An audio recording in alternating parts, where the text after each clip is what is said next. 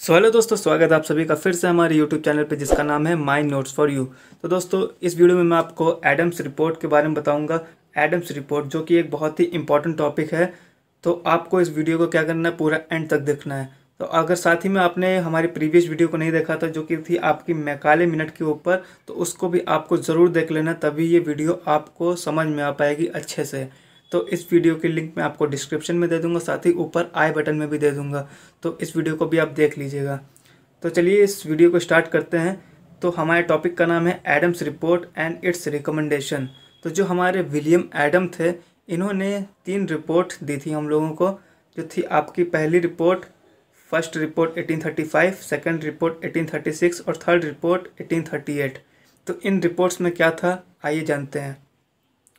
तो सबसे पहले हम लोग इंट्रोडक्शन देख लेते हैं इनका विलियम एडम थे, कौन, कहाँ से आए हैं। तो हमारा पहला पॉइंट बताता है, William Adam was a true scholar social worker and educationist he was a missionary and came to India with a view of propagating Christianity तो जो हमारे विलियम एडम भाई साहब थे, ये हमारे एक स्कॉलर थे। यानी बहुत ही जानकार व्यक्ति थे, साथ ही में एक सोशल वर्कर थे और एजुकेशनिस्ट थे। यानी एजुकेशन के फ़ील्ड में वर्क करते थे और ये हमारे मिशनरी भी थे। अगर मिशनरी की बात करें तो ये क्रिश्चियन से रिलेटेड होते हैं जो धर्म का प्रचार करते हैं।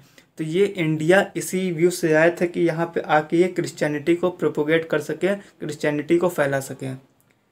सेकंड पॉइंट है but after working here he was truly influenced by Indian culture knowledge and science and became great supporter of Indian education जब हमारे इंडिया में उन्होंने कुछ समय व्यतीत किया तो इन्होंने पाया कि जो हमारी नॉलेज है कल्चर है साइंस है, वो बहुत ही इन्फ्लुएंशियल है। इसलिए वो यहाँ की नॉलेज के ग्रेट सपोर्टर बन गए। थर्ड पॉइंट है to reduce the criticism of British education policy lord William Bentinck जो कि आपके थे गवर्नर जनरल उस समय appointed William Adam as a special commissioner for educational survey तो जैसा कि मैंने आपको अपनी प्रीवियस वीडियो मैकाले मिनट वाली में बताया था कि जो आपके लॉर्ड विलियम बैंकटिक थे, इन्होंने एक एजुकेशन पॉलिसी निकाली थी ब्रिटिश एजुकेशन पॉलिसी तो इसको बहुत ही बाद में क्रिटिसाइज किया गया था। इसी क्रिटिसिज्म को रोकने के लिए लॉर्ड विलियम बैंकटिक थे। इन्होंने अपॉइंट किया था विलियम एडम को as a special commissioner of educational survey in 1835 में और इन्होंने एग्री किया था उनको पे करना का एक हज़ार रुपया पर मंथ। तो इनका काम क्या था? इनका काम था कि इनको सर्वे करना था आपका बंगाल एंड बिहार के एरियाज़ को और उसके बेसिस पर रिपोर्ट देनी थी। तो इन्होंने क्या किया था? बंगाल और बिहार के एरियाज़ का सर्वे किया था और उसके बेसिस पे तीन रिपोर्ट्स बनाई थी। But at the time of submitting the report यानी 1838 में इनकी तीनों रिपोर्ट बनकर तैयार हो गई। बट जब सबमिट करने का समय आया था तो जो आपके गवर्नर जनरल थे विलियम बैंकटिक वो आपके इंग्लैंड वापस चले गए थे और उनकी जगह नए गवर्नर जनरल आए थे, जिनका नाम था विलियम ऑकलैंड चलिए नेक्स्ट पेज पे चलते हैं। तो हम लोग देखते हैं फ़र्स्ट रिपोर्ट तो आपकी फ़र्स्ट रिपोर्ट आई थी 1835 में। इसमें इन्होंने डाटा प्रस्तुत किया था बंगाल प्रोविंस का। तो बंगाल प्रोविंस उस समय क्या थी? बहुत ही बड़ी थी। इसमें आपका आज का मॉडर्न वेस्ट बंगाल बांग्लादेश और जितने भी ईस्टर्न जो एरियाज़ ये दिखाई दे रहे हैं तो ये सभी एरियाज़ उसमें आ जाते थे। तो इसमें इन्होंने पहला पॉइंट दिया था there are total one lakh school in Bengal and Bihar यानी बंगाल और बिहार में टोटल एक लाख स्कूल हैं मिला के। और उसमें आपके 450 बच्चों पे, यानी प्रति 450 बच्चों पे एक स्कूल दिया गया है। तो यानी कि ये बहुत ही अच्छी अमाउंट में स्कूल्स वहाँ पे बने हुए थे। सेकंड पॉइंट है expenditure and land of school was donated by rich citizen तो यानी जो रिच सिटीजन्स थे सोसाइटी के, वो स्कूल के लिए ज़मीन और पैसा दोनों ही डोनेट करते थे। थर्ड पॉइंट है the salary of teachers were very low teachers की सैलरी उस समय बहुत ही कम हुआ करती थी। फोर्थ पॉइंट है there was fear among people on the name of women education तो यानी वुमेन एजुकेशन को लेके लोगों के मन में बहुत ही डर रहता था। लोग अपने यहाँ की जो लड़कियाँ होती थी, उनको पढ़ाते नहीं थे, क्योंकि वो समाज में उस समय लड़कियों को पढ़ाया नहीं जाता था। एक कुरीति थी हम लोगों की सोसाइटी में उस समय। तो बहुत ही कम लोग, जो बहुत ही अमीर लोग होते थे, वही लोग केवल पढ़ा पाते थे अपने यहाँ की गर्ल्स को। इसके बाद आपकी आती है सेकंड रिपोर्ट जो आपकी आई थी 1836 में। तो इस रिपोर्ट में आपका डाटा जो प्रस्तुत किया गया वो था थाना नटूर का, थाना नटूर थी आपकी राजशाही डिस्ट्रिक्ट में। तो ये आपकी कंप्लीट राजशाही डिस्ट्रिक्ट दी गई थी। तो इसमें जो ये आपका एरिया है, वो आपका आता है थाना नटूर का। तो इसी का डाटा उन्होंने सेकंड रिपोर्ट में प्रस्तुत किया था। तो यहाँ आपकी टोटल पॉपुलेशन थी दो लाख की जिसके ऊपर केवल ट्वेंटी सेवन स्कूल्स बने हुए थे। यानी दो लाख की पॉपुलेशन में केवल ट्वेंटी सेवन स्कूल्स बने हुए हैं। तो यानी बहुत ही उस समय की जो एजुकेशन थी वहाँ पे, बहुत ही वनरेबल थी। इसके बाद आपका सेकंड पॉइंट है in total area there were four hundred five villages out of which two sixty students were pursuing education यानी कि आपके चार सौ पाँच गाँवों में केवल दो सौ साठ बच्चे ही ऐसे थे जो कि आपके एजुकेशन परसू कर रहे थे।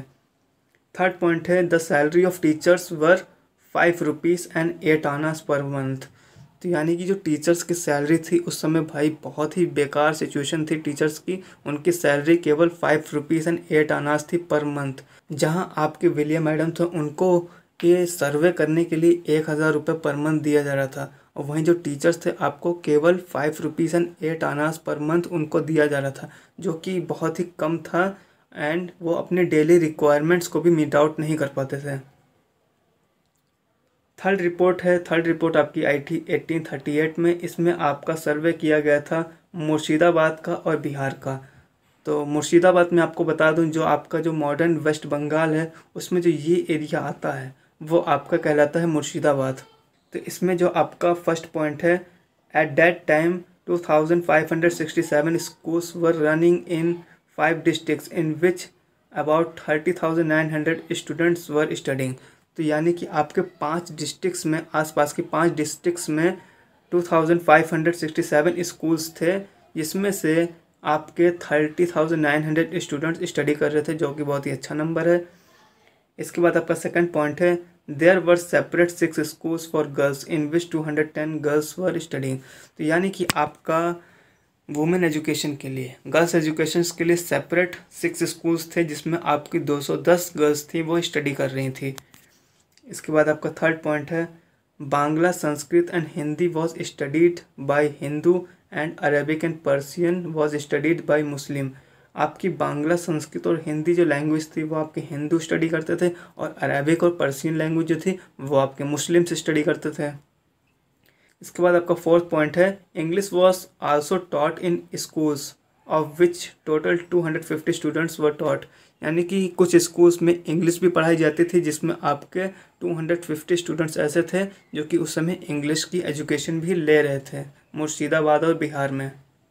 इसके बाद आता है आपका एजुकेशनल पॉलिसी ऑफ़ एडम तो एडम ने अपनी रिपोर्ट और सर्वे की बेसिस पे अपनी एजुकेशन पॉलिसी बनाई थी, जिसमें उन्होंने कुछ इंपॉर्टेंट पॉइंट्स दिए थे, जो कि मैंने यहाँ पे बताए हैं आपको। तो इसमें पहला पॉइंट आपका आता है the filtration principle is anti mass education and it shouldn't be implemented तो फिल्ट्रेशन प्रिंसिपल मैंने जैसा कि आपको पहली वीडियो में, मैकाले वाली वीडियो में बताया था कि जो फिल्ट्रेशन प्रिंसिपल आपका होता है, इसमें क्या होता था कि आपकी जो सोसाइटी में कुछ लोग होते थे, ऊपर टॉप लेवल में जो लोग रहते थे, केवल उन्हीं को एजुकेट किया जाता था और जो एजुकेशन थी आपका धीरे धीरे होते हुए निचले स्तर के जो लोग होते थे, उन तक भी एजुकेशन पहुँच जाती थी। ये थी आपकी फिल्ट्रेशन प्रिंसिपल तो इसमें उन्होंने कहा कि जो फिल्ट्रेशन प्रिंसिपल है, वो आपका एंटी मास है।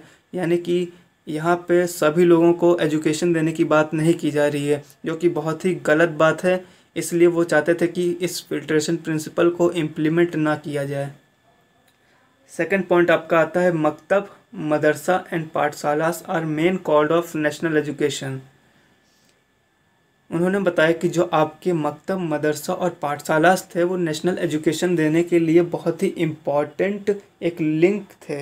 अगर हम नेशनल एजुकेशन लोगों को देना चाहते हैं तो हम लोगों को मकतब, मदरसा और पाठशाला को डेवलप करना होगा, तभी लोगों को हम लोग नेशनल लेवल पे एजुकेट कर पाएँगे। थर्ड पॉइंट उन्होंने बताया था for public education one district education officer should be appointed in each district यानी कि हम लोगों को हर डिस्ट्रिक्ट में एक डिस्ट्रिक्ट एजुकेशन ऑफिसर को अपॉइंट करना चाहिए, जो कि वहाँ पे टीचर्स कितने नंबर में अवेलेबल हैं स्कूल्स में ये चेक कर सके एजुकेशन का क्या लेवल है, इन सब चीज़ों पे ध्यान दे सके। इसलिए हर डिस्ट्रिक्ट में एक डिस्ट्रिक्ट एजुकेशन ऑफिसर होना चाहिए। फोर्थ पॉइंट है आपका text book should be arranged by the help of Indian and western education expert जैसा कि मैंने आपको प्रीवियस वीडियो मैकाले वाली में बताया था कि जो हमारे लॉर्ड मैकाले थे, उन्होंने ओरिएंटल लिटरेचर को सरासर नकार दिया था और उसके लिए फ़ंड देना भी बंद कर दिया था।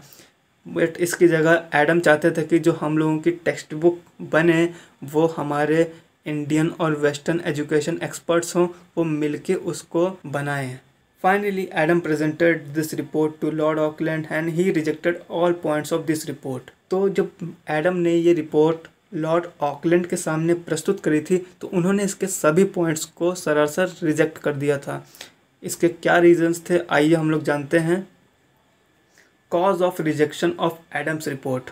Adam presented many important suggestions for upliftment of Indian education system Adam ने, जैसा कि आप सभी जानते हैं इंडियन एजुकेशन सिस्टम के अपलिफ्टमेंट के लिए बहुत ही इंपॉर्टेंट सजेशंस दिए थे बट फिर भी इनको रिजेक्ट कर दिया था। क्यों? इसके लिए पहला पॉइंट है on seven March 1835 lord William Bentinck accepted Macaulay minute तो जैसा कि मैंने आपको मैकाले मिनट वाली वीडियो में बताया था कि आपका सेवन मार्च 1835 में जो लॉर्ड विलियम बैंकटिक थे, उन्होंने मैकाले मिनट को एक्सेप्ट कर लिया था और उसी के बेसिस पे उन्होंने national policy of British government को एग्जीक्यूट किया था। यानी कि उसको नेशनल लेवल पे उन्होंने एग्जीक्यूट कर दिया था। उसी के थर्टीन डेज़ बाद ही लॉर्ड बैंकटिक ने अपना रेजिग्नेशन दे दिया और इसके साथ ही वो इंग्लैंड वापस चले गए। और उनकी जगह आया कौन था? उनकी जगह आए थे आपके लॉर्ड ऑकलैंड। तो पहले आपके थे लॉर्ड बैंकटिक और उनके रेजिग्नेशन के बाद आपके lord Auckland new governor general बन के इंडिया आए थे। When this report was presented in front of lord Auckland then lord Macaulay strongly opposed तो जब ये रिपोर्ट आपके लॉर्ड ऑकलैंड के सामने पेश करी गई थी तो जो आपके लॉर्ड मैकाले थे, जो कि उस समय हेड थे पब्लिक इंस्पेक्शन कमेटी के, अब वो पब्लिक इंस्पेक्शन कमेटी के हेड कैसे बने, इसके लिए आपको मैकाले मिनट वाली वीडियो देखनी पड़ेगी। इसलिए मैं आपसे कहना चाहता हूँ कि आप उस वीडियो को ज़रूर देखिएगा, तभी ये वीडियो आपको बहुत अच्छे से समझ में आ पाएगी। अब लॉर्ड मैकाले, जो कि उस समय पब्लिक इंस्पेक्शन कमेटी के हेड थे, उन्होंने एडम्स की रिपोर्ट को अपोज कर दिया। अब जब उन्होंने अपोज कर दिया, इसी वजह से लॉर्ड ऑकलैंड ने भी इसको रिजेक्ट कर दिया, क्योंकि इस रिपोर्ट में ऐसे बहुत सी पॉइंट्स थे जो कि वो गवर्नमेंट नहीं चाहते थे कि इम्प्लीमेंट करी जाए, इसलिए इस रिपोर्ट को रिजेक्ट कर दिया गया। इसी के साथ एडम ने जो तीन साल मेहनत करी थी इन रिपोर्ट्स को बनाने के लिए उन्होंने बहुत जगह पे सर्वेस किए थे, उस रिपोर्ट का कोई भी वैल्यू नहीं रह गई इसी के साथ ही हमारा ये टॉपिक कंप्लीट होता हूँ। आशा करता हूँ कि ये सभी पॉइंट्स आपको समझ में आए होंगे। अगर ये वीडियो आपको अच्छे से समझ में आई होगी तो आप इस वीडियो को ज़रूर लाइक कर दीजिएगा। और साथ ही में अगर आपको कोई भी डाउट होगा तो आप हमसे कमेंट बॉक्स में जाके पूछिएगा। मैं उस डाउट को क्लियर करने की कोशिश करूँगा। और साथ ही में इस वीडियो को शेयर करिए अपने दोस्तों में, ताकि उनका भी फ़ायदा हो सके। इसी के साथ हमारे चैनल को सब्सक्राइब कर लीजिए, क्योंकि आगे आने वाली वीडियोज़ भी आपके लिए बहुत ही इंपॉर्टेंट होने वाली हैं। और इन वीडियोज़ की मैं एक प्ले बना दूँगा, ताकि आपको इनको पढ़ने में आसानी हो सके। इसी के साथ दोस्तों, मिलते हैं अगली वीडियो में। Till then thanks for watching